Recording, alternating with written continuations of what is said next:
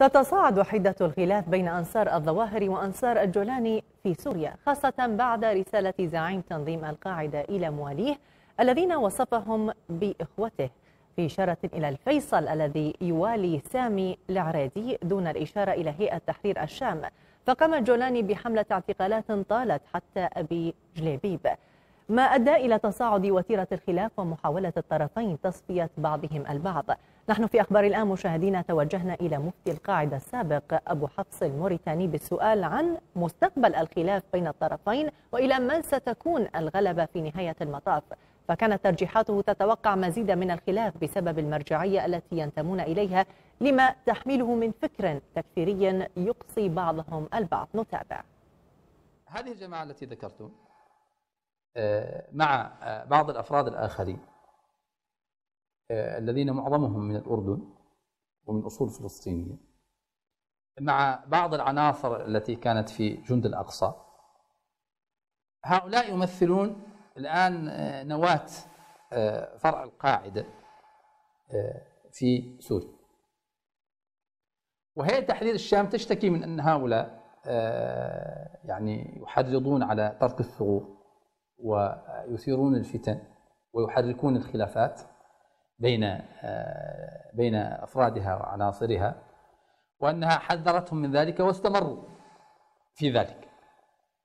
وتقول إن هؤلاء دافعهم للدعوة إلى تأسيس فرع لتنظيم القاعدة ليس هو الدافع الحقيقي وإنما نتيجة لخلافاتهم مع الهيئة أعلنوا هذا مشاكسة لها ومناكفة لها. وإلا فهي تقول إن هؤلاء يوم كانت الهيئة جبهة النصر وكانت فرعا معلنا ومنتميا فعلا ومتماهيا مع القاعدة كانوا هؤلاء ضده.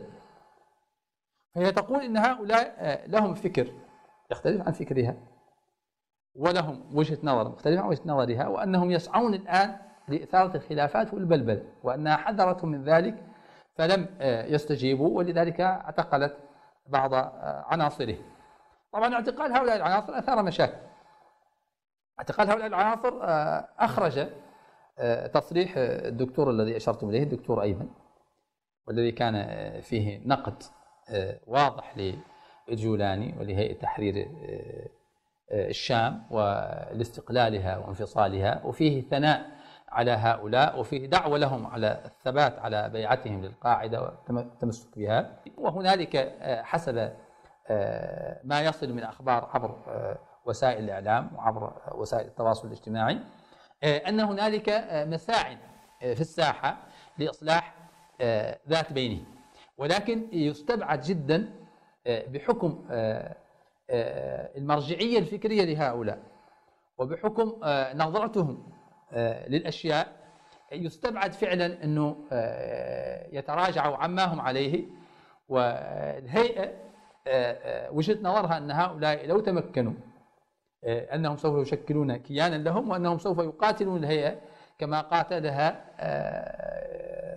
تنظيم الدولة من قبل لأنهم ينتمون لنفس المدرسة الفكرية. وهم وإن كانوا لا يصرحون بتكفير الهيئة علنا فهم يمارسون نوع من التكفير المبطن الذي يرجعون فيه إلى بعض مرجعياتهم التي هي على خلاف شديد مع الهيئة. ف يعني الأمر يخشى أن يصل إلى حد صدام مسلح بين الطرفين ولكن الأمر حتى الآن لا زال مستتبا للهيئة لأن هؤلاء ما زالوا قلة في عددهم ولا زالوا غير متمكنين.